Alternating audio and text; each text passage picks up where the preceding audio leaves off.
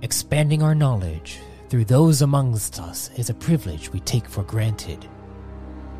Join me as we explore the minds of our fellow beings to unlock their knowledge for ourselves.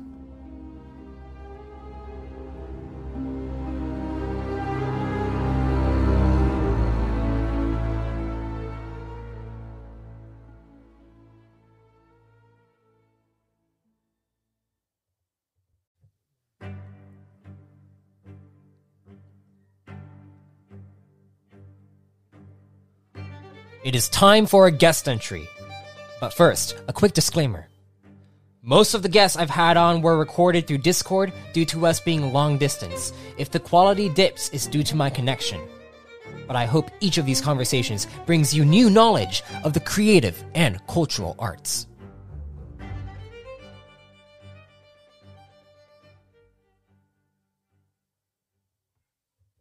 Today, you get to listen to a conversation between myself and Michael ABR, or MABR. He is the author of Bounty, The Hunters of Vanaheim. I had a great time chatting with him about tabletop RPGs, building expanding universes, and more. I hope you enjoy our conversation. Today, I have on a an avid role player, uh, a writer as well, a novelist, Michael. Thank you for coming on the podcast. Have you? Thank you for having me on. Pleasure to be here, man. So, I want to hear about Bounty, the Hunters of Vanaheim. I'm not. I didn't dive too far into it to to the actual uh, description that you have on your website. Um, if you can describe it for us, please, that would be amazing. Bounty, the Hunters of Vanaheim, is just a simple story, really. or, uh, you know, that's at least what I like to say. Uh, it's a science fantasy act taking place in the world of Vanaheim, which hmm. is uh, the land of sorcery and magic. Oh. It's a science fantasy novel, and it follows the story of group of bounty hunters as, through the twists and turns of fate, they uh, meet each other and track down the most expensive bounty of all time. Oh, wow. And who is this expensive bounty? A criminal overlord known only by the name of uh, Syndicate. So shadowy and uh, mysterious that some people aren't even sure whether or not he exists. Huh. I I love I love bounty hunter stories. It like like that that's probably one of my favorite things about like tabletop top RPGs. If I were to play a character, I'd want to be like a bounty hunter or, or some kind, or like a gladiator, or one of those two. But um, but yeah, like that that's that's really cool. And um, so this is a science like this is science fantasy world but it's like it's filled with like, sorcery and magic and all that stuff. Can you explain kind of like a little bit of the lore behind it all of Vanaheim? Oh, for sure, yeah. Uh, I've always. Have you ever heard the quote before, where technology that is advanced enough is indistinguishable from magic? Yeah. Uh, I, I think, uh, yeah, they probably have. So that's kind of sort of the idea here. A mixture. I've always loved mixing like science fiction and like high tech stuff and magic because these levels they're kind of indistinguishable. You have something you don't understand, and you have to go through this complex way of uh, going about it. Like, okay, I, am gonna I have you guess whether or not this is uh, science fiction or magic. Yeah. Yeah. So I I think so, that like uh, I think that science fiction kind of like gets to a point where you it's it becomes like the the the impossible made probable and you you know that it could happen sometime in your future but the technology just hasn't gotten to that point. But magic is is like defined as something that we just don't quite understand and it like it just is interta- interchangeable between like the science, the the, the fictional elements of, of science and, and technology and advancement can become magic. Just like like if you were to bring a cell phone back back in time like just a hundred years ago they'd just be like what the heck? Yeah all your all the knowledge in your fingertips. It is a devilish device I was literally just thinking of that. yeah If they asked you how it works, how, how would you even explain that? Yeah, this uh, little metal box, it has liquid crystals in it. yeah it's Took a different type of crystal and flattened it, and then we put lightning in this crystal, and we told the lightning what to do. yeah it, it's cra- it's crazy to think about how advanced our, our technology is even though we're just so we're so used to it it, it just becomes normal at a certain point Yeah. Well, Like, okay, imagine this. You here's a way of explaining it. I can uh, get a metal metal like slate, hit a certain combination of runes, Mhm. speak some words into it, and 30 minutes later, a man bound to my will will show up at my door, for piping hot pizza. It's just using a phone to like call someone doing that. It's like if you're to go back in time, like you said, for magic. I can summon someone at will and hear their voice or see their face even. Yeah. Across across miles and miles of deserts and plains and and the world all together. Oh yeah, it's sure it's crazy, and that's why that's why I personally find it so easy to mix uh, science fiction and fantasy together, Yeah. and it's it's fun. If I want a wizard to uh, add a code, well, all that technomancer, man. Oh yes. I, I love technomancy. That that that's one of those things where it's like it's it's just an interesting concept to kind of meld magic into this idea of being able to like manipulate technology in some in some aspect. Yeah. Uh, have you ever uh, done IT work before, or see, know someone who does IT work? Uh, depends on the type of IT work. Uh, I I used to be a lighting tech for uh, working for my dad. Actually, he he owns a DJ company and like would do li- lighting for like weddings and and corporate events and stuff. So I used to run the lighting systems and all and all of that. Um, but that's the only like tech, like I IT work that I've ever really done. Um, I'm not too I'm not too like tech savvy. I would say, even though I'll be honest, me either. The most IT work I've done was when I worked as an RA at a university and uh, would try to figure out how the email system worked, which I still can confidently say I don't fully understand it. Oh, Then you, then you see these guys who are like, who are like, hey, I- I'm having X Y Z issue with this device, and they go, oh, simple. They just like wave their hand over it, touch it a few times, and boom, it's working again. yeah, like, how do you know how to do this? yeah. There's like different. There's different parts of of of it, and it's crazy because that that's like the that's like the the coding aspect and the and the like just the technical aspect. Sometimes it's it's easier to understand, but it gets more and more difficult the deeper you go into it. And that's like the that's a very interesting thing about it is like you can just you see someone take something and then they do it very easily because it's it's a simple task for them.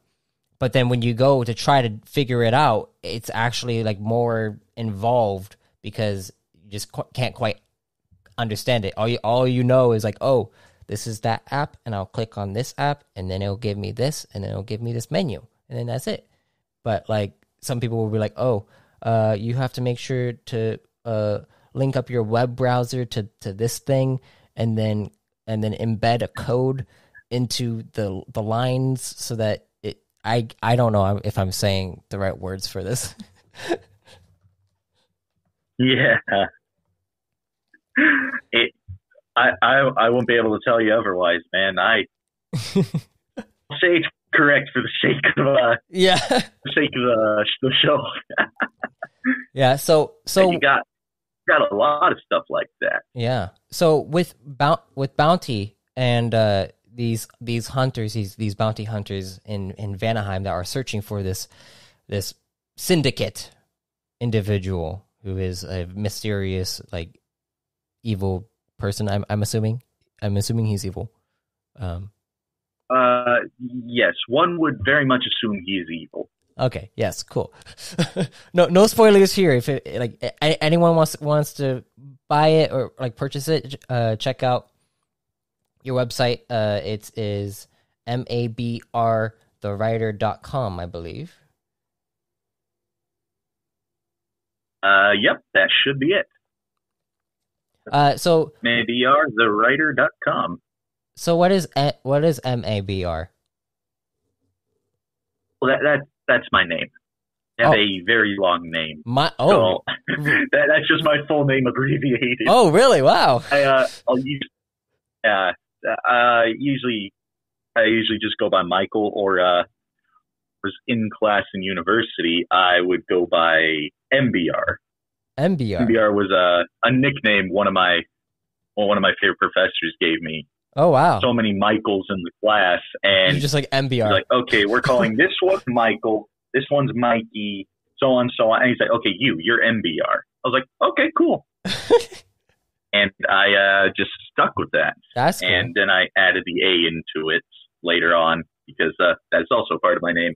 Yeah, I, w- I was wondering if, Uh. if that was like a part of your lore or something, and like I, I- didn't know if because sometimes sometimes people will, will decide to have a pen name that is like attached to their their lore and and and their stories and all that stuff. So I, I was just curious. That's very interesting. I have several different pen names, but uh, technically that is one of them. But this is approximation to my real name. Hmm. Often enough, I'll, in Zoom, I'll go by Michael ABR. Michael ABR, Mike My, Myber, My My Myber.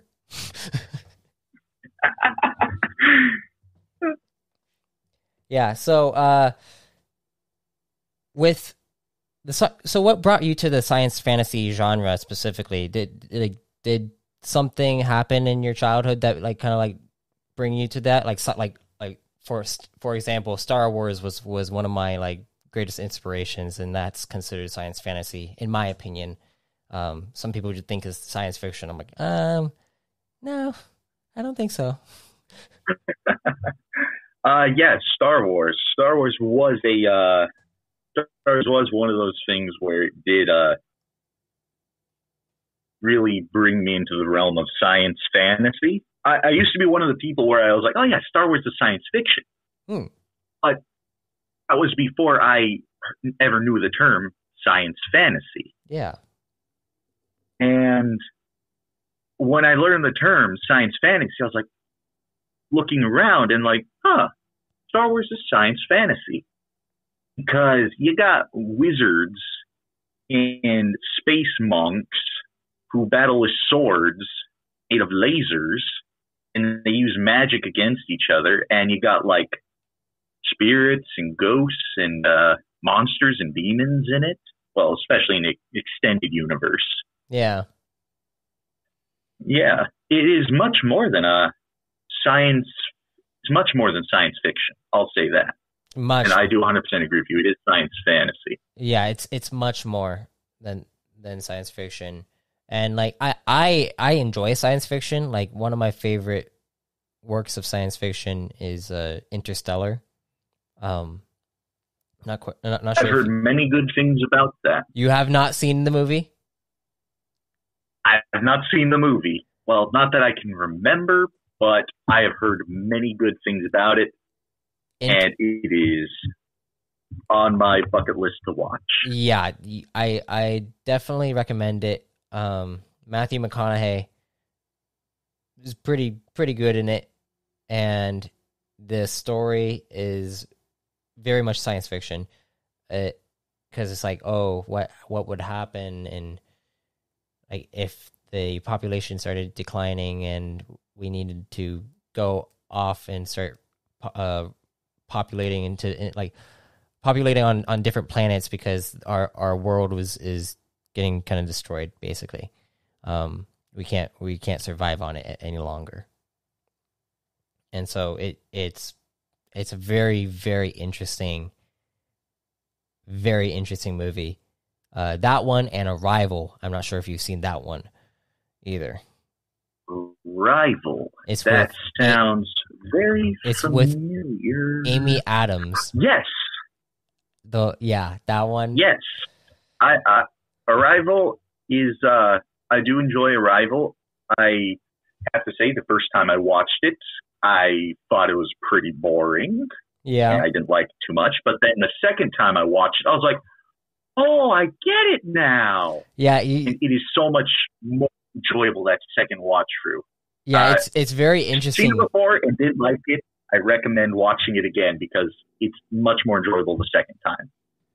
Yeah, it's it's very interesting. It, it is it is a slow movie because it's not like Inter- Independence Day where where the you the aliens come down and start attacking and you're just like oh crap. You're it's more like oh what would ha- actually happen if aliens came down and we had to solve what they want with us without starting an all out war with them and making them kill us because most likely they have more advanced technology than than we do if they're the ones that came here first. Yes. Uh, I like it because of that, because it is genuinely realistic of what 99% most likely the case would be if uh, extraterrestrials ever did visit Earth and, well, let us know that they were visiting and the grand arrival like that. Yeah. Funny enough, uh, I watched that movie. The second time I watched that movie was in a uh, linguistics class. Oh, really? We were learning about, uh, yeah, we were learning about the theory of, oh, I forget its name. I am so sorry, Burke. That, that's the name of the professor who's teaching the class. I am bringing shame to him right now. Uh, there is a linguistic theory that language itself changes how we think. And your Yes. first language, like your birth language, that, that's the entire basis of the movie is how language can change the way you think. Every single language, they do have many different uh, cues and contexts and things like that, and how the uh, the language itself sets things up. Some language, like, like English, is one of those languages where it's a quote unquote forward speaking language hmm where you say everything in order.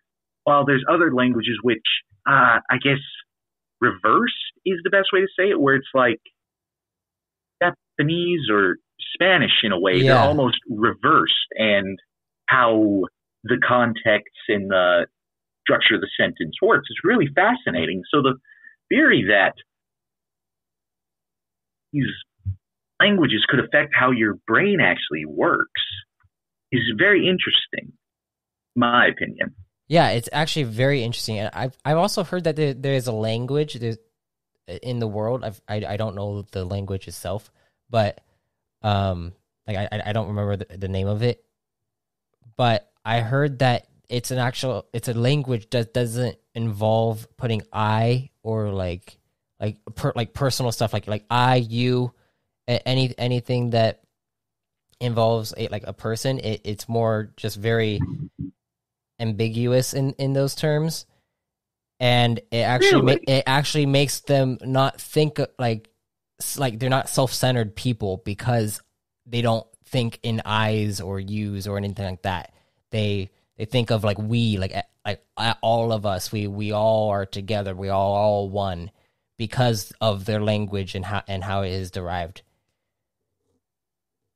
That is very fascinating. It, it's things like that where I want to say that theory is incorrect or it doesn't necessarily exist in that way, but that language is almost proof otherwise about it. yeah i mean it's it's a part of our it's a part of our own like subconscious and like how we how we perceive things and, and derive meaning from from objects within the world from within our own reality and so lang- language has always been like uh, like uh, the cornerstone of our entire civilization and our like our evolution because we are social creatures and we want to be able to communicate with each other and in order to communicate with, with each other we need to understand what the other person is is saying.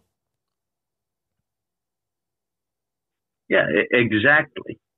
And those subconscious cues from the language and how it works that's what that's what everything's built up on. Mm-hmm. society culture all that it's built up on language and stories. Yes. Language and stories we are the culture makers yep in, indeed stories are one of the uh, most important parts of society and it that that's not just us tooting our own horn here. Mm-hmm. It's it's real. Not history class.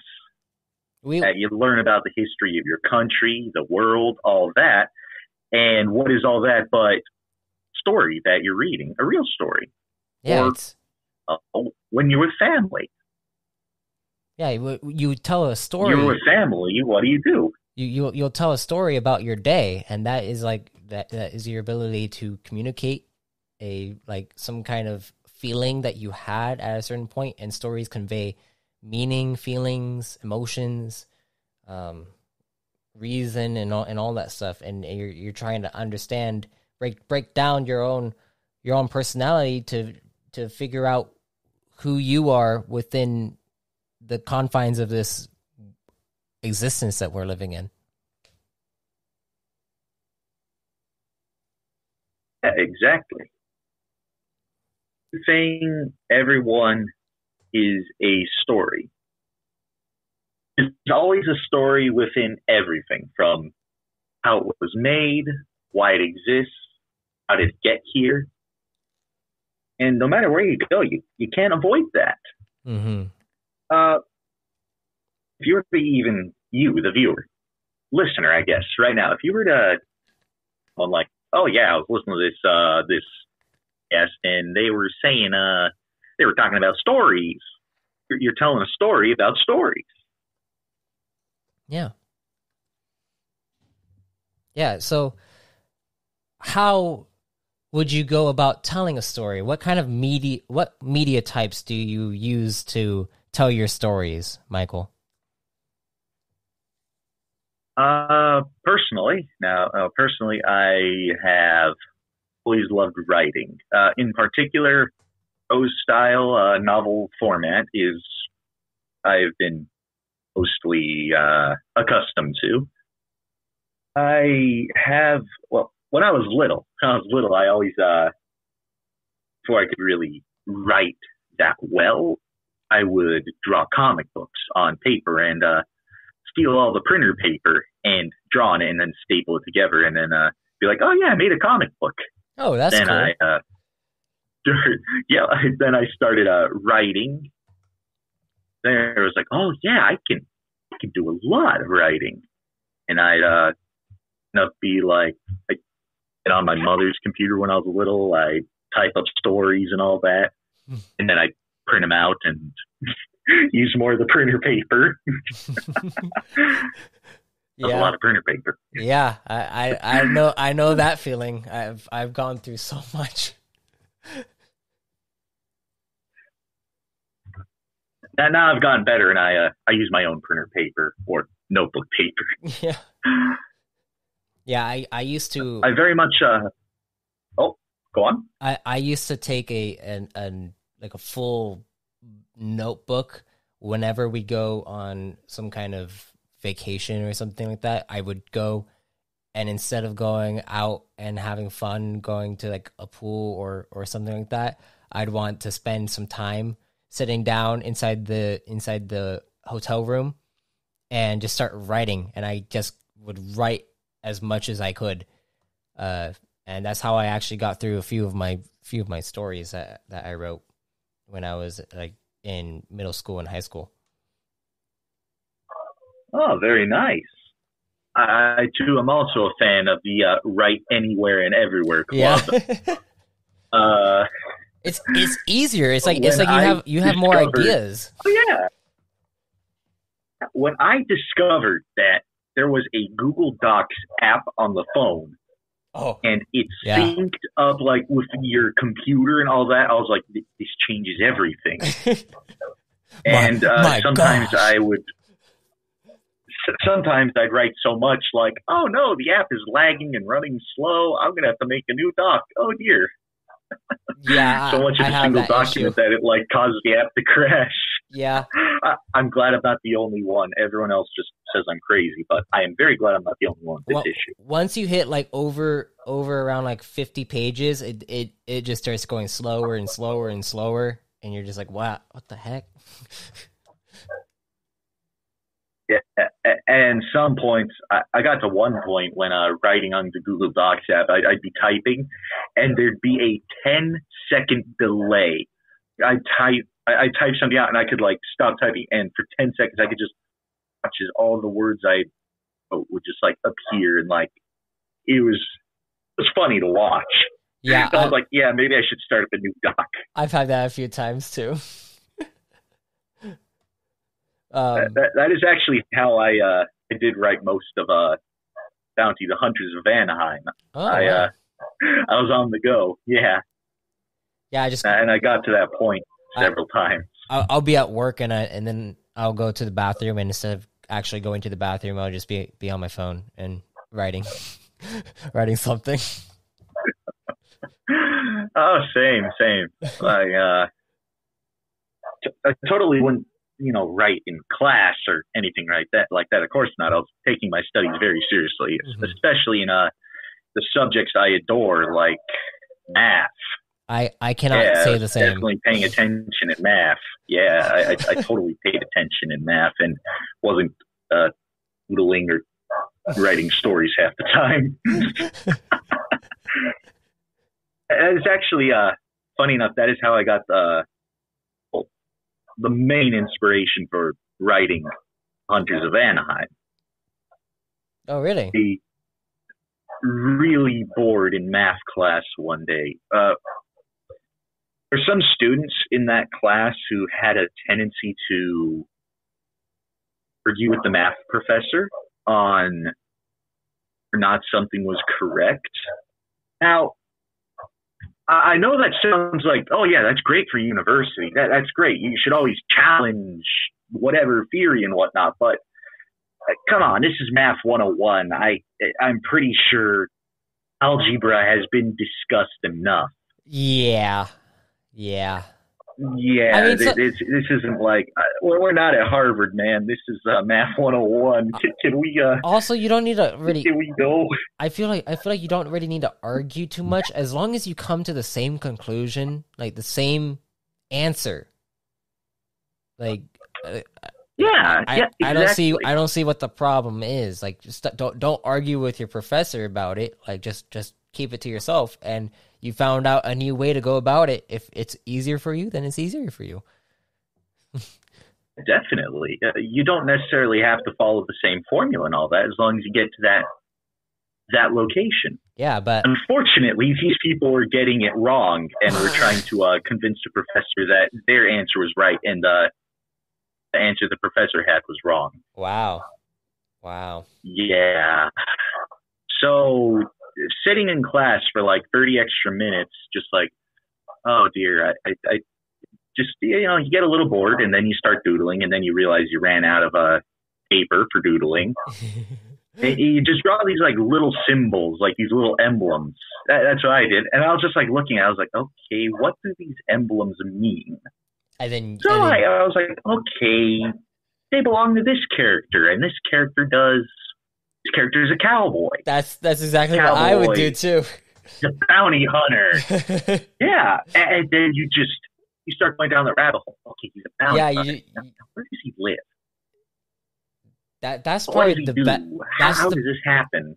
that's the best part about about writing is that when you're when you're just on the go somewhere and you're not really doing anything and and you just like you're like uh, I'm just gonna start kind of doodling, make, making something up and make something, and then you make something, and then you're like, hmm, what what could be the story behind this be? And then you just start going down and down the rabbit hole, and it just keeps going. You're like, oh my gosh, and then eventually you have a a like 500 page novel, and you're just like, where did my life go? Yep. You're like, oh, you just wake up one day and that's that's what happened. Yeah. Um, Yeah, you, you, you look at a little symbol on a piece of paper, and th- then you look up and you realize you've been uh, spaced out for three hours thinking about it. That's true. That's so true. Uh, so for your own writing inspirations, um, actually for for for the media types, you you specifically are are a novelist, um, through and through. Uh, but I believe you did Uh, you a- anything else? Like do do you do do you write poetry? I'm not gonna lie, I'm not a huge fan of poetry. Uh, Ah, yeah. Writing wise, I'm mainly a I'm mainly a novelist. Mm-hmm. For uh, recently, I've recently I've been in the process of uh, working on some projects to uh to branch out. Yeah, same. Honestly, honestly, same.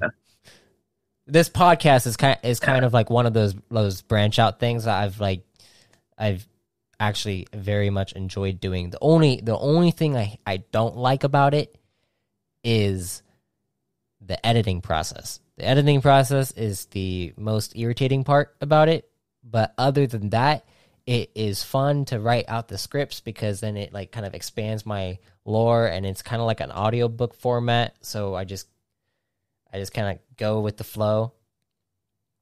And it helps me with my own like world building and expanding and all that stuff. I do recommend it if you ever want to just like just create more content. And it, it's it's kind of it's actually free to just create a podcast off the bat. You just need a a microphone. You could probably use your phone but like getting getting a, a basic microphone um is not too hard and then it, just around like 50 bucks or something like that and then just plug it in yeah, a decent microphone. Uh, the one I'm using right now, Blue Snowball. oh yeah It's like a decent microphone you can get. Yeah, not not not. It may cost a little bit of money. Not uh too expensive, luckily, and it's reasonable enough audio quality. I know some people talk about like the Yeti microphones. I think. yeah i i have a Yeah. uh my my brother actually gave me his yeti uh but i don't use that anymore i i just got new podcast equipment and it is it, it, is out of this world amazing i, I love it um the microphone that i actually have is a, a pod mic by Rode and it is actually it's only a hundred dollars so like it's it's, Oh, a, it's a steal Not bad. Not bad. I know that may sound like like to to, it- to the uninitiated that may sound like a lot like hundred dollars for a microphone. That that's whack. But no, microphones can get like yeah really up there. Like uh, thousands of dollars streaming just dropped several hundred on a microphone. It's like, oh, geez, yeah wow. And yeah, it's like that. I guess it really does make a difference. So if you can find a, a decent microphone for like hundred dollars or under, that is amazing, and especially if it's like decent, decent quality. Mm-hmm. yeah So uh, let me ask you, uh, podcasting. How did you get into this, and why? If you don't mind me asking, that is. Well, I I wanted to start a podcast for the longest time. Um, I wasn't quite sure exactly what I wanted to do.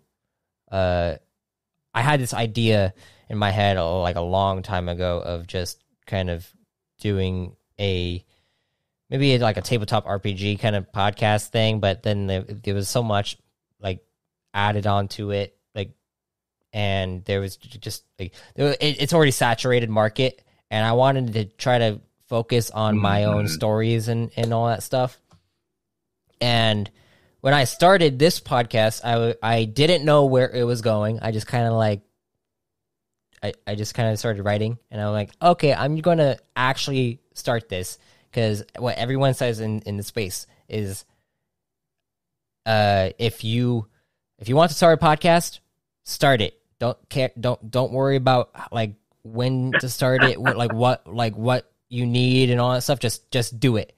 And then do it every week once a week um and just keep going. And once you got that down you can start getting uh, like more and more gear and all that stuff.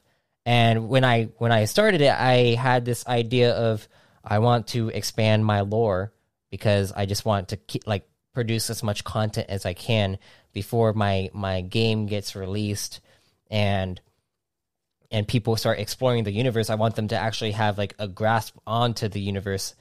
Uh, that way it's like oh they're not they're not kind of like reading the reading the book the first time and they don't know anything about the universe and like when when they go to like like it's like it's like with D&D you've already had so much time to to understand it sometimes you Well, can, you yeah. can you can go into it but the DM needs needs a, like a lot of background and and and stuff and I didn't Background, the context, all that. Yeah. yeah I, I didn't have any of that stuff um i i have some of Oh. it i i have some of it now uh but like the the podcast is it, it's also fun to to just do and tell stories through because like it it makes me able to know like it, it's like the the continuity things and, and and knowing like where where certain things line line up and planning it out like from the beginning. I have this full storyline planned out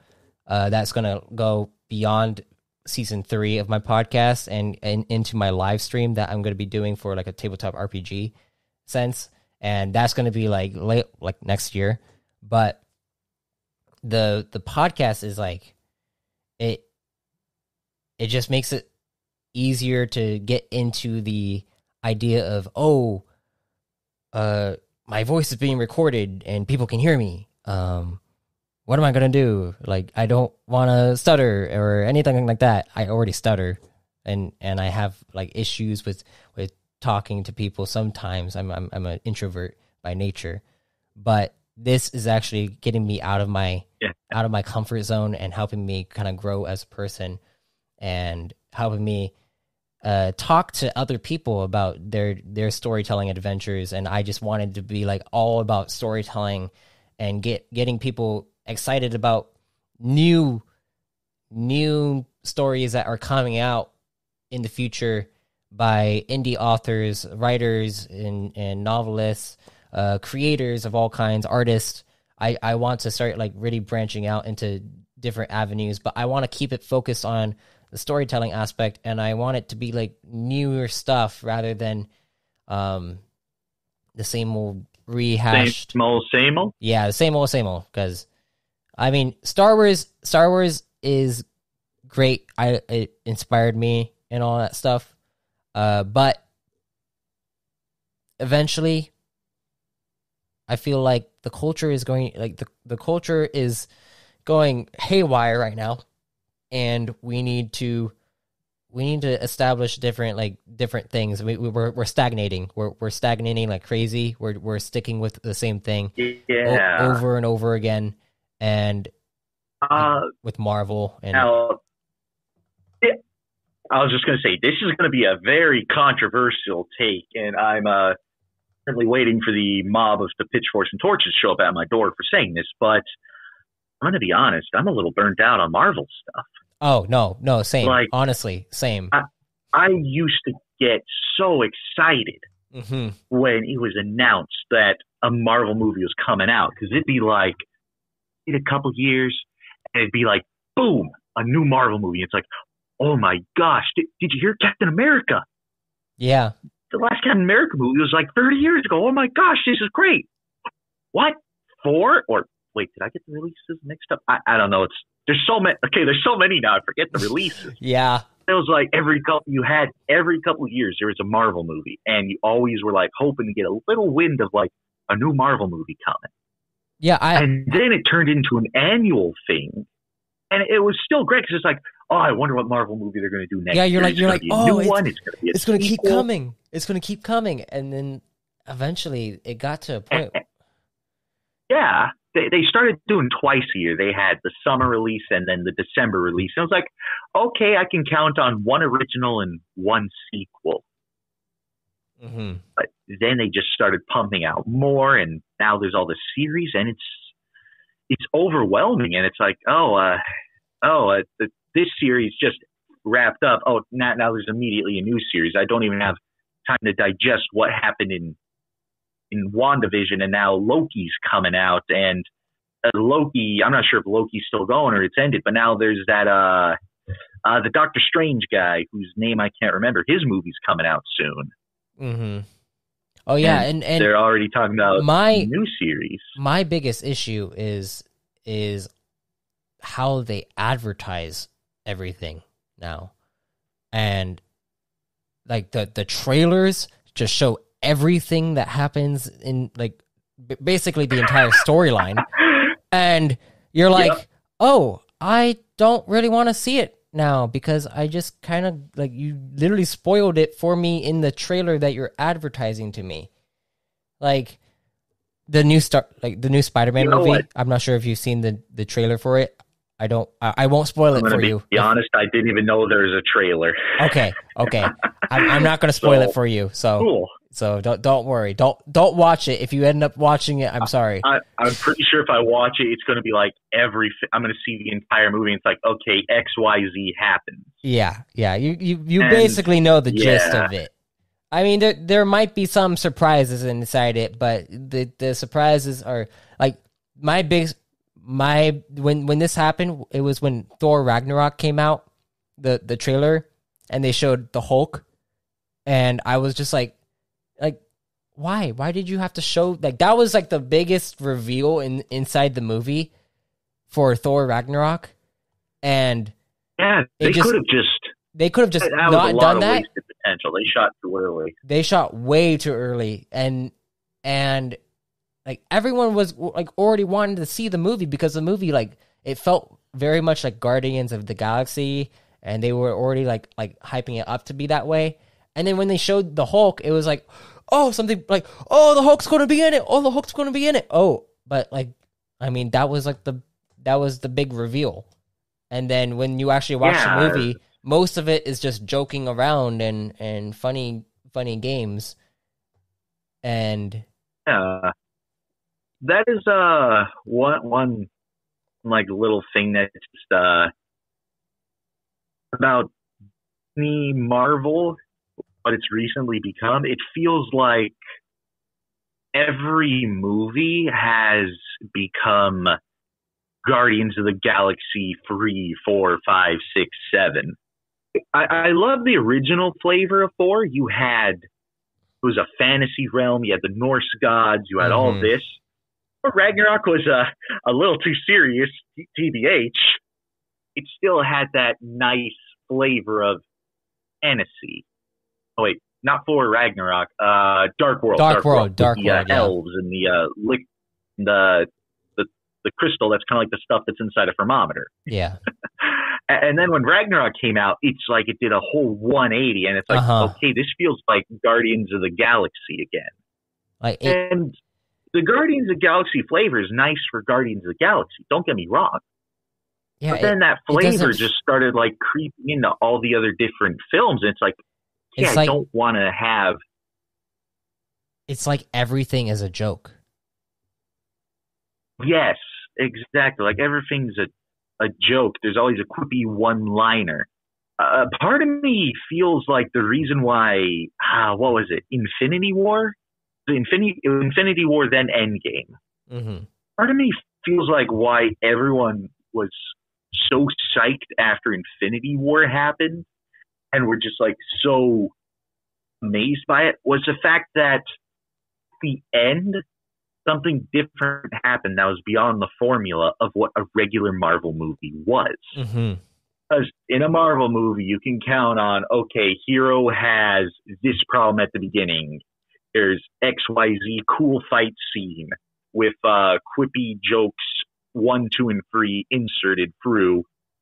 Here's reveal a big bad fight scenes ABC mm-hmm. or X2, Y2, Z2. It's all formulaic. Here's sad moment. Here's happy moment that uh, quippy joke reduces the sadness. And now here, here's where hero wins. Mm-hmm. And uh, I, I do love a good hero story. Don't get me wrong. I'm not saying like we need grim, dark, depressing stories. I'm saying when every single thing you produce is that, it, it does kind of get stale after a while. And saddening to see that. It, it, it does sadden me that I can't get that same enjoyment from a story that I used to have. Yeah. Yeah. Uh, now, This got depressing. Uh, hey, hey, now, now, now the place is within tabletop RPGs. That that's where I get my my great stories. I just finished uh my D and D campaign actually this past Tuesday, so that was oh, makes me want to cry. Eh, nice. when, uh, when a campaign finishes up, it's always uh, it's always very bittersweet. But then it gets you uh, excited for that next campaign. Mm-hmm. I, I, I know you mentioned uh, you were uh, developing your own uh, tabletop RPG campaign uh, book. Was it? Yeah, I have I have my Your own own my book, my own system and rule book and and uh it's technically done. I'm just I'm just kind of make I'm I'm putting on the finishing touches. I'm making it more understandable for for people who are just picking it up because uh when I play tested it, people have they, they don't necessarily read the the fine print. They they like the bolded letters and making sure that they can find everything Mm. uh, as as as great as possible. Um, I have ideas to to work around it, and I have like I have ideas to kind of go with the times because the times are either going we're either going to uh, go back to the Stone Age or we're gonna advance further than than we ever have within the next ten years. So one of those two. And if we go back to to Stone Age, I don't think I'm going to be writing writing any books anytime soon. so Uh, maybe not writing books, but carving into stone tablets. That's that's going to be the next oh big yeah thing if yeah go back to that, the that's Age. that's why I'm working out. I'm I'm getting I'm getting ready to start to start my uh, my carving my my carving skills. Yeah, yeah. There you go. uh, pump iron so that way you can uh, break rock.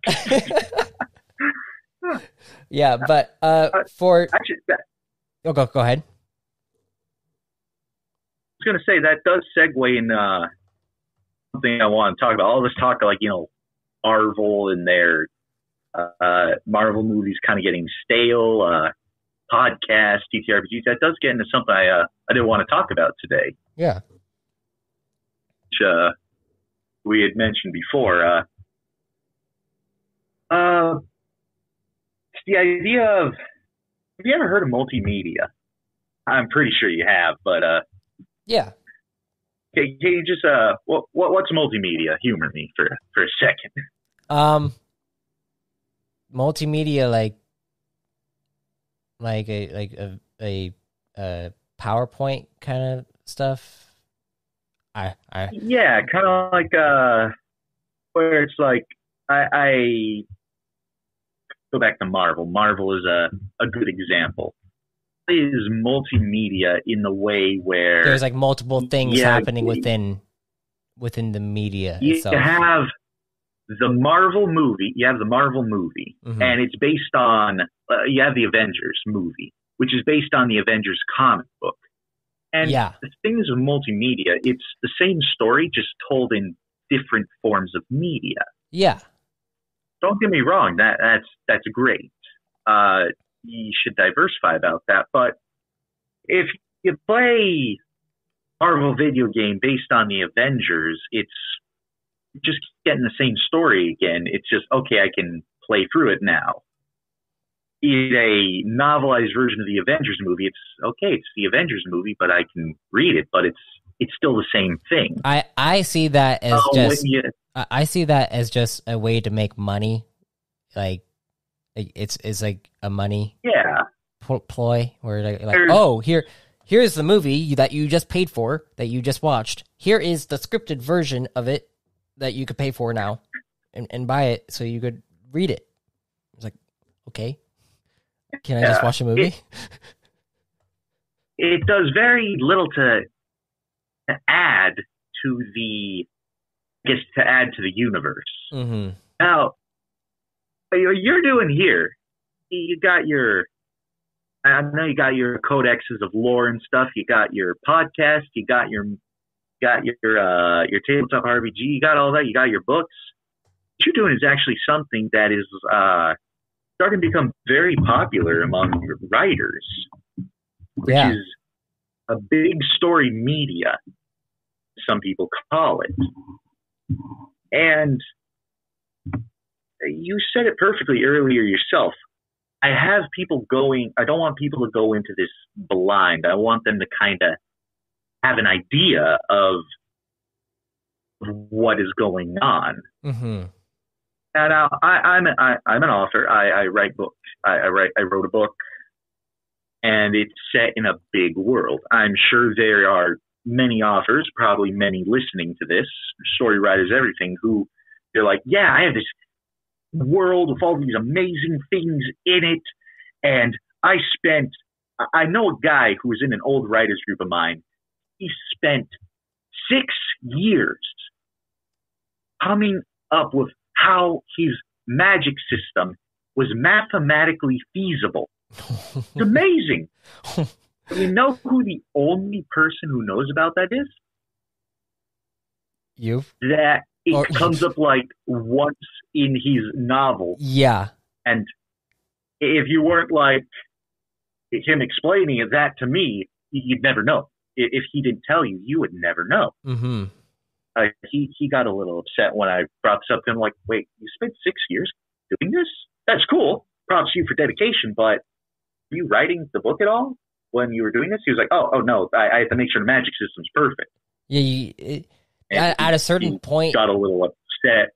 yeah. At, at a certain point, you you, I I've I've come to this realization. Like, yes, at a certain point, there is a time where you have to, you know, release whatever you have, even if there's mistakes. I because we we all want to be perfect. We want all want it to be perfect, but you're you're never going to have perfection, and we just Yeah. have we have to realize that. Um, my magic, That loop of world building where it's yeah, just you just uh, keep building up so much. It's like uh, sometimes I can work out like Tolkien and the Silmarillion, but half the time it's like half that stuff world building wise that you write down, no one's ever going to know about Mm-hmm. unless unless th- there's a big unless there, and that's uh where the big story media comes into play. Uh, you, you mentioned something about your magic system real quick. Oh yeah, Well, yeah. What is your magic system? Well, it is pretty in depth.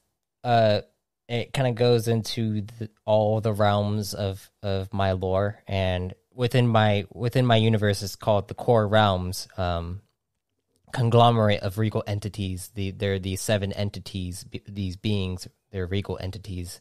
Uh, they are basically the the universes them- themselves, uh, like the, their conscious manif- manifestations of the universe uh, and each of them kind of put put in like different types of energies and into this into the core realms themselves when they converged and it created this core energy like kind of like ki or chi or something like that and every living creature every living creature has these energies within them and they can manifest it uh manifest the, the different types in in order to in order to ba- basically wield like a kinetic state or something something like that. They can use like kinet- kinetic uh, powers, which is the ability to manipulate mo- molecular structures within reality. And then um, there's like there's also magic, which is more like elemental based and, and arcane based. Arcane, as in it actually arcane stems from that which uh, is outs- outside of the core realms itself. So there's an expanded space that is the planar unity, which is technically where I allow for other people to be like, "Oh, my universe is within this planar unity," and they can like have their uni- their their Oh. entire their entire energies and all that stuff. And arcane is in my in my in core in the in the core realms is technically energies that come from those other realms outside of outside of my realms themselves. And so I, I've Sounds I've pretty cool. Yeah. I've created this entire this entire kind of blanketed uh, universe to like I've created this foundation so that others can also kind of build upon it or even just bring in their like like an omniverse in, in a way um where they they Yeah. have their own universe outside and if we wanted to do a a uh, a, a uh, what's it called um collaboration if we wanted to collab collab collaborate on a story or something like that and like one of their characters went through some alternate like portal dimension thing and it they popped into the core realms and then like all this crazy stuff happened uh and their their entire like armada came and like had a like multiverse war or something like that. It's crazy crazy stuff could could go on you know? Um but i i leave that to tabletop Yeah. rpgs mainly. That's why i created my my game is so that like you could literally just kind of build off of it as much as you want um Yeah. Yeah. You, you got a got a use for it. Mm-hmm. You you it, you got a use out of it. You actually applied it, and someone is going to be able to look at that, enjoy it. It's not something that's going to be uh, sitting in some Google Doc that gets auto deleted like seven years down the line. It's actually something someone can look at and bring them in, and they can enjoy that, which is great. That that is it's what I want to. It's what you should do. yeah That's that's the idea of what a like the big story media is about. Uh, now go, going back to the Hunters of Vanaheim, the uh, the story's set in a big world, much like uh, all other stories set in a big world. You got a lot of things going on. mm-hmm. There's lore. The, the the world has its own lore. There's everything going on. There's all these mentions of this stuff throughout the book. Just like any other book, even if told in a person omnipotent, omnipotent omnipotent person. yeah I know whatever the heck's going on. Omnipotent. yeah, yeah, yeah. That word that I cannot pronounce for the life of me. yeah, even if you do that, it's it takes uh you, you can't go like, oh yeah, our heroes did this X Y Z. Now, now let me tell you about uh, well, pizza shop down the street, Hmm. and here's all this information about it. Nothing's ever done with it. Back to the story. yeah like, no oh yeah, you can't go on a. It's you could, you theoretically could, but that takes the reader out of it. hmm So you're stuck where, okay, I want to tell people about this lore, know how, and that's where the story medium comes in story media comes in. Uh, this podcast is a great example. You're telling people about lore and things and this and that. It's it's good. It's you reach more people that way. Yeah Uh, the way I heard it described to me from multiple different people was it's like a house. Your series, your world, that's a house, and you're trying to get people in the front door. And my front door is my book. That, that that's my front door. It's like here, c- come on in. Mm-hmm. Now, I'm going to get people in. They're going to enjoy it, sure.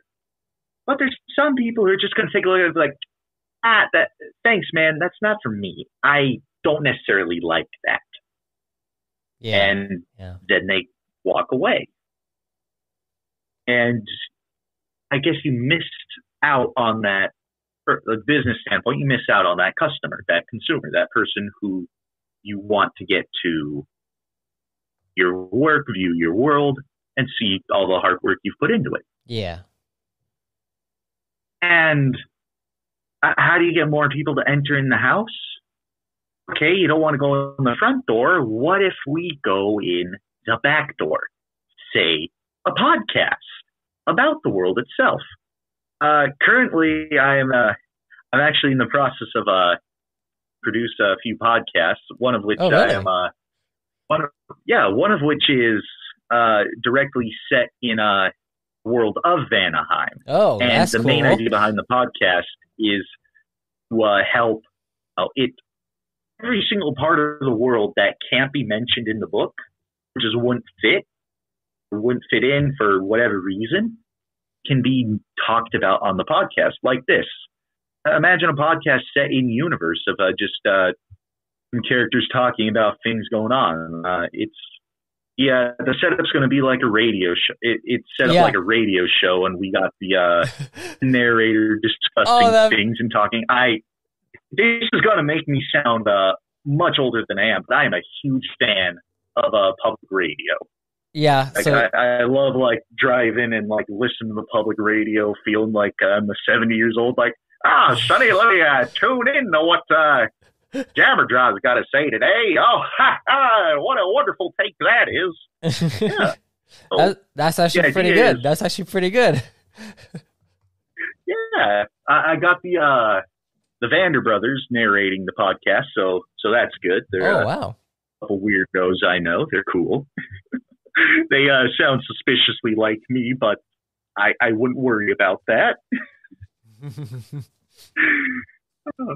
Yeah, and uh, th- that's the one I can mainly talk about. There's a different podcast that's uh, that is currently in production that we can uh, we may be seeing the uh, uh, the release of here soon. The Base of Baldy, it's called, and it's it's a sort of another radio podcast, but it's just talking about weird happenstance and stuff. It's like uh, you ever heard Coast to Coast AM, the radio show?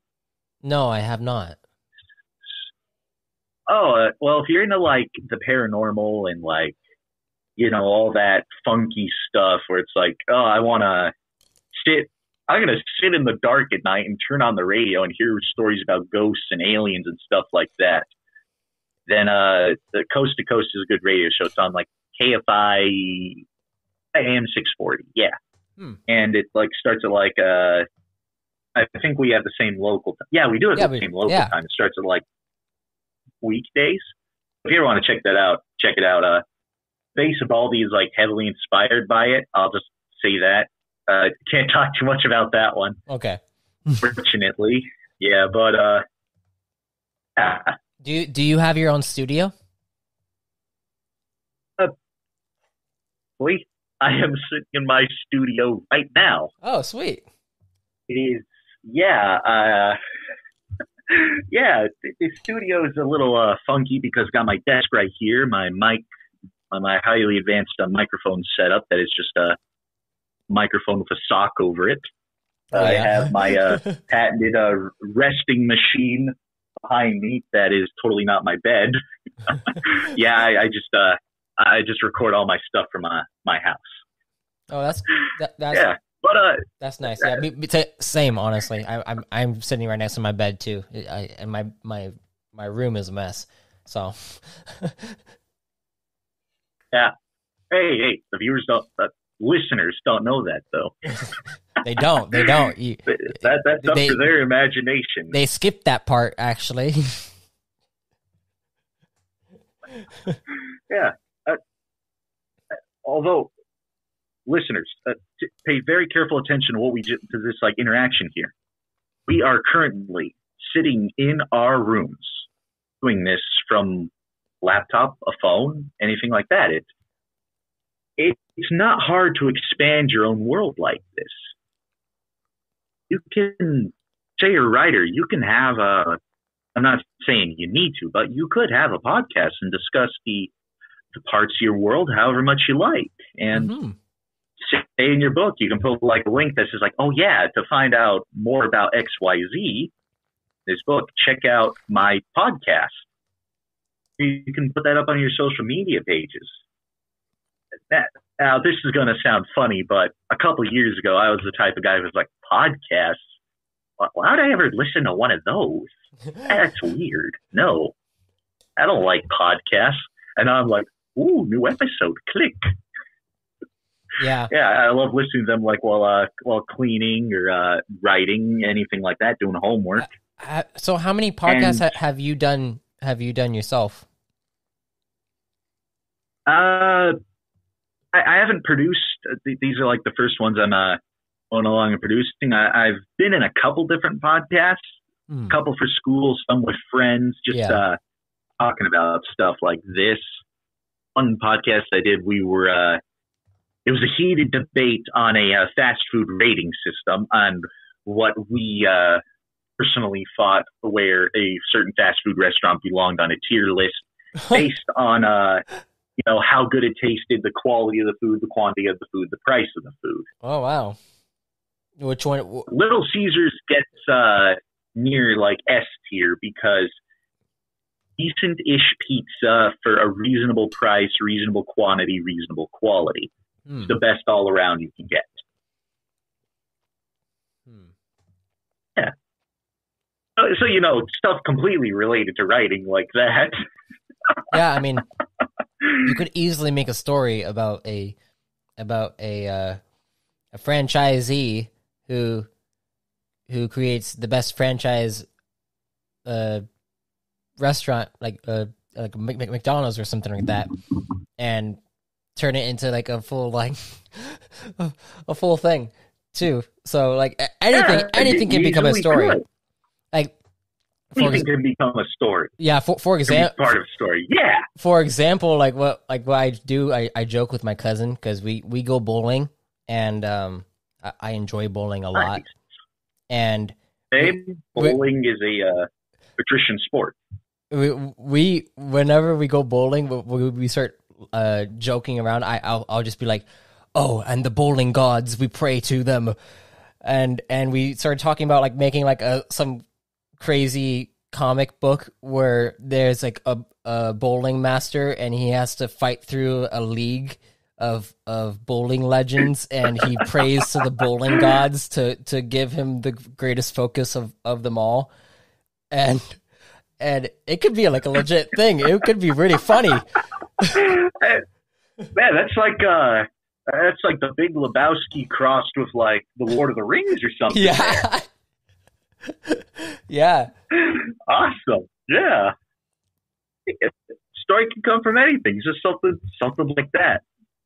Maybe you could uh, turn it into like an interactive uh, game, like a choose your own storybook adventure, where okay, here's like the ten chapters, one for each uh, frame of bowling, yeah and if you uh, got like a 7-10 split that you didn't pick up, turn to page 25. But if you got a spare, be sure to cha- turn to page 72. How well you do bowling is uh, what ending you get. oh that would be really cool wow jeez I, I'd, I'd be down to work with you on that if if I, I don't know if you're a bowler hear a collab. I, I, I, I don't know if you're I, a bowler I love bowling. Bowling Oh, is sweet. bowling is one of my uh, favorite sports. Bowling and hockey. Uh, I, I don't I don't watch much bowling, but I do love bowling myself. I go bowling with my friends, my family. It, we love bowling. So uh, you, you heard it here first, folks. Uh, this new interactive bowling story is coming out soon. that would be really cool do you know how cool that would be oh that'd be fun It would be cool. that'd be really fun That, I, I'm 100% down for this. Heck yeah. Yeah, ne- ne- next time, next time, next time we do a podcast, we'll we'll meet up, and maybe maybe we could like plan plan the podcast.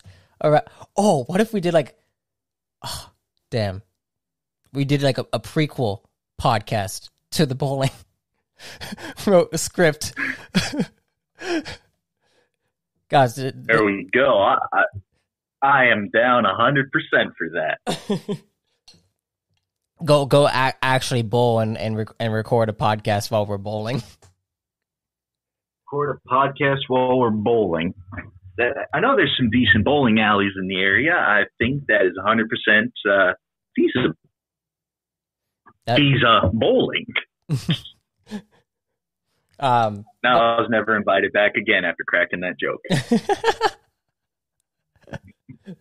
uh, so the last topic I want to get to is your own experience with tabletop RPGs and if they've ever like, ins- inspired you. Are, are you a DM or are you a player? I suffer from, uh, well, I used to suffer from uh, chronic DM syndrome. Oh, But uh, recently, I have actually uh, been able to branch out and play some games, which is which is uh, nice. I, I'd like to send a shout out to the uh, who run my games who have made that sacrifice to run the games. Thank you very much for letting me play for the first time in like uh, think about like a good Years. couple years. Yeah. Yeah, I know that. But know that, that that doesn't mean I, I don't like DMing. Uh, There's part there's parts to it that are great. DMing. Yeah, there, there, there's parts to it that are great. It like it allows you to just toy with the players and and that that's Yeah. that's probably the best part is when when they they're trying to figure out what the heck is going to happen and you're just like laughing in the background maniacally. Um Because at the same time, you have no idea what's going to happen Yeah. because you didn't make any notes. yep, and then and then you're just improvising the entire thing. Yes. You have a, you know that they're going to go from A, Z. Yes. Start at A, ended Z. But you don't know what letters are rest of the alphabet to fill in. Yeah, you don't know what letters are going to go next. It's not going to be a B. I'll tell you that. Nope. It, it may not even be a C. You could get a Y, but then you're going to start right back at X. Yep. Then you're going to shoot to uh, N and then J. And for some reason, uh, you- you're going to hit the Greek alphabet in there somewhere. You just need to be ready for anything and just have fun with whatever whatever go, goes wrong cuz you just be like, "Okay, um now I'm going to, you know what? Let's take this character from from this character's backstory uh and have them come in to play and then put this in front of them, this this ob- object that they have to get around and all, all these different things and it just winds through and that's kind of like so what what i'm doing is um like you said with with story with the story media me- media uh my podcast has a storyline that is kind of go- going through uh through the actual game sessions i have as well and then what i Yeah. what i plan on doing is it, it's gonna you you you're gonna you don't need to really like listen to the podcast to to to get the full the full like campaign and uh, understanding of it for like when I when I do my live stream, but it will greatly like it will greatly help what what I'm what I'm planning for my for my game if you did listen to it. Like basically I my podcast is like my podcast is like the Clone Wars uh the Clone Wars TV show for Star Wars. Uh whereas my like the live stream that I'm going to be doing is like the prequel trilogy. The prequel trilogy is gonna is gonna have all, all that stuff, but then the Clone Wars kind of gives you like a greater, a greater uh, uh what's? Standing. yeah yeah you you just have you have a greater appreciation for for the for the actual uh live stream if like for for when i do my i'm gonna do youtube and all that stuff um but once once that that's up then you can go back and listen to the to the podcast and listen to di- different parts of it that will better explain certain things that you might have missed before and and good thing Yeah. the good thing is that each of my episodes are like around like uh seven to ten minutes long. Um so they're not too long unless you're listening to a guest recording like this or if you're That- listening that- to, uh, to game, se- game I, I think it goes a little longer. yeah. Yeah, you you make a you make a good point that especially with uh Star Wars, they they do the big story media idea very well. Yeah because it's about complementing the Like- the other the other thing that you're doing it's not it's not about creating the same thing it's complementing it uh, it's let, let's take the Clone Wars for example. Got the entire Clone Wars series, the the TV series, which amazing. I love it. I loved watching it as a kid. I remember that first movie came out, and then the series was announced and all that. That was great. yeah they they take the idea of that big story media, they do it well. Do you uh, remember the episode where uh, Delta Squad shows up? Uh, Delta Squad. Which one? Like, Yeah, you- uh, Commandos. You got Boss, Sev, Scorch, and Oh. Fixer. yeah, That blew my mind. I was like, "Whoa, yeah, yeah, crazy!" I remember uh, playing that when I was little with my dad, more watching him play it with watching him and my uncle play it. hmm I remember that, and that was so impactful. And then it's like, yeah, that acknowledging a different part of the universe exists, and they're uh, they're getting more interactive in that story there. yeah, And that- that's the idea of the big story media. It draws you into different parts and uses different stories in the same universes in different mediums, draw you in. And it doesn't tell you the same story over and over again. It introduces you to new parts of a different character's story. So if you see Delta Squad in that show and you're like, yeah, I wonder who those guys are. Why are they so important? You look at the games, and it's like, oh yeah, there's a game. Cool. Say you're a gamer and you would never have like, you're like, ah, TV series too long, I never touched that. But you hear that Delta Squad's in it, you'd be like, okay, maybe I will. Uh, haven't seen the Bad Batch. I don't know if we should do spoiler alert here or something. Uh, have you seen it? I, or I have seen all of the Bad Batch. Um, to be absolutely honest, it kind of fell off for me at the very end. Um, it just didn't. Mm, It, it didn't.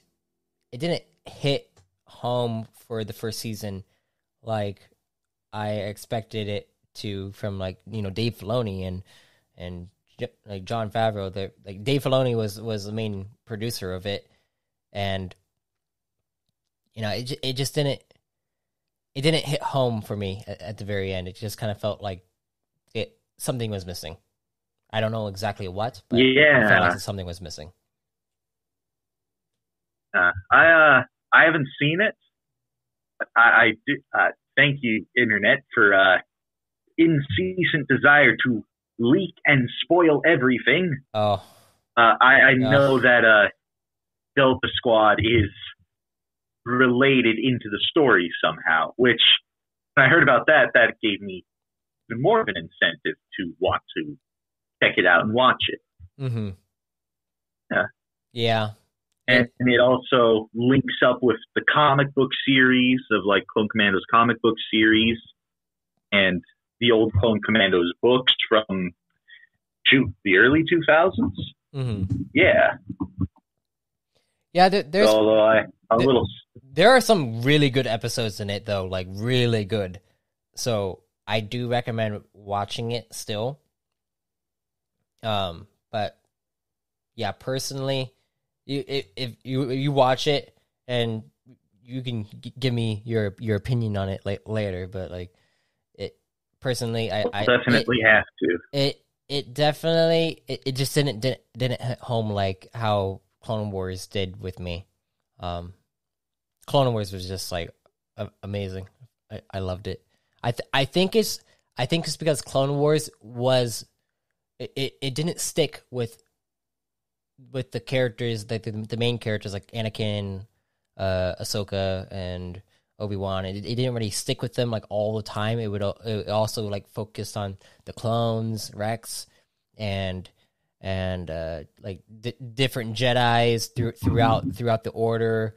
Uh, Palpatine, Yoda, like all, like it just went like to all the different characters, and each of their stories was just vastly different, and it it, it just gave you this feeling of like, oh, you're like you're you get to watch diff- different parts. Like it, it was like multiple stories in one. Whereas, whereas like things like Yeah. Rebels, like like the Rebels, t- the Rebels TV TV show, it it sticks with one one squadron, and yeah, the, like you get to you get to like become familiar with that squadron v- very very well, but it doesn't have that same feel. It just doesn't, and kind of the same thing kind of ha- happens here inside uh Bad Batch. Though the quality is mu- is much better than than than in Rebels. So that's my that's my two cents. In Uh, Well, I'm still definitely going to check out Bad Batch because mm-hmm. Definitely. I want I want to see and want to see if I agree with your opinion or if I have a, a disagreement and why or why not we agree or disagree. Yeah, that's the That'll best. be cool. That's the best part because then we we could try to convince each other whether like the, the differences. I, I I'm not. Yeah, yeah. So definitely go watch it after this. Start start watching it after this. Okay, that's your homework. All right, I will do that. That's my homework. We'll discuss it while bowling. Yes. uh, um, lastly, is there anything else you would like to discuss before we finish this conversation? Uh, just uh, one, last thing Mhm. about about like the big story media. I, I know we both we've been talking a lot about like stories, podcasts, and like uh, tabletop RPGs and stuff like that.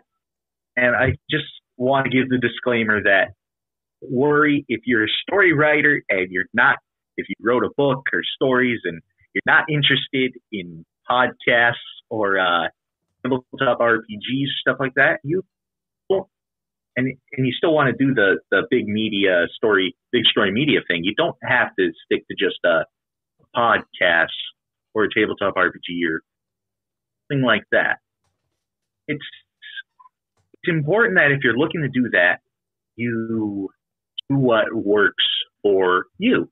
Something enjoy, something that brings you joy that you can also use to bring others joy. Mm-hmm. Um, a good example of this is Dungeons and Dragons, right? I, I'm, I'm sure you, you do. But Dungeons No, and Dragons, What is that? they have please. a cookbook. no, right? I don't know either. I hear some people talking about it. Just it sounds weird, man. now, people who are like, "Ah, Dungeons and Dragons." Okay, that's that's not my cup of tea. That's kind of lame. yeah. But Dungeons and Dragons released a cookbook. Oh, I have I, a copy of it. Uh, I heard about recipes that. are great. The recipes are the recipes are nice. yeah. Uh, I'll give them that. And the people who weren't interested in Dungeons and Dragons, they're like, "You're telling me book of like fantasy items? Okay, that sounds a little, little quirky. Okay, I can be on board with that." And they would like read it, and they're like, "Okay, I may not like Dungeons and Dragons, but I can vibe with this cookbook. Cool."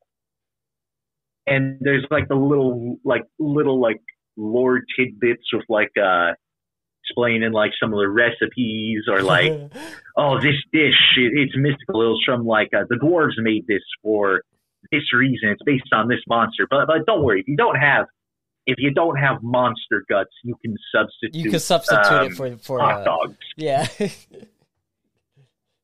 If if you don't have a liquefied black pudding from uh, an actual black pudding ooze, uh, store bought chocolate syrup is fine.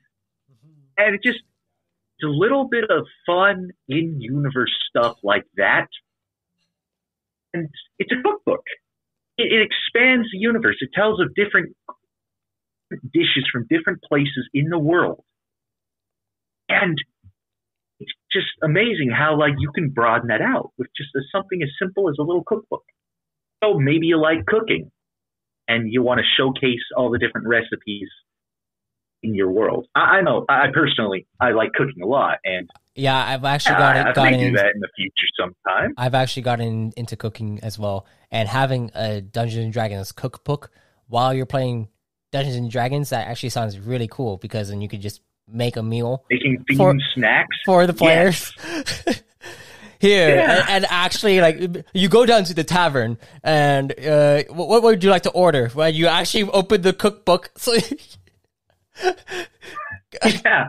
You have a list of items you made from the cookbook. Yeah. it's Like what type of experience? it allows you is to immerse yourself even more. Yeah. Or, or okay, maybe cooking's not your thing.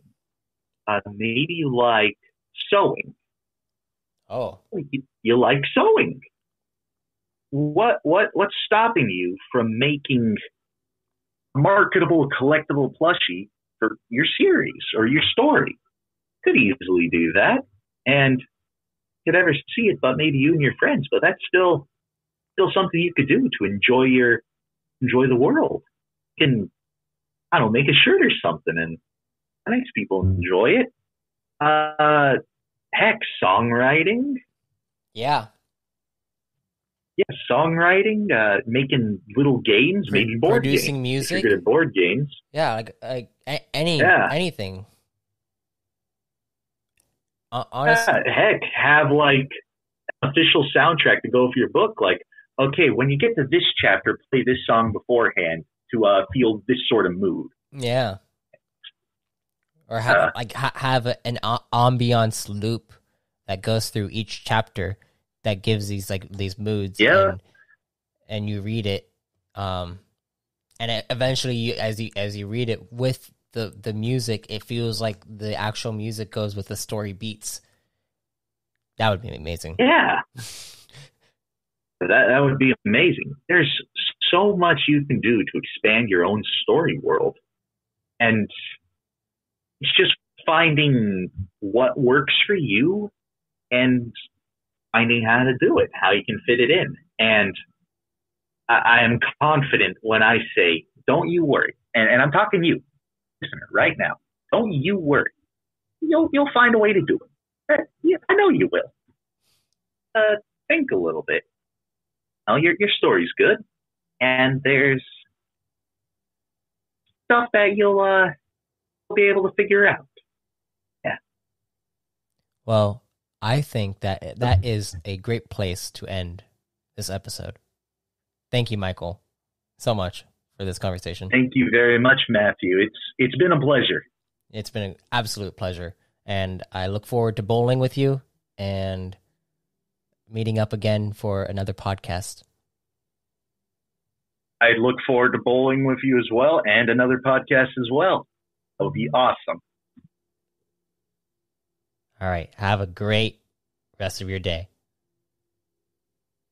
You too, and have a great rest of your day to everyone else who's listening. I thank you for listening to our conversation.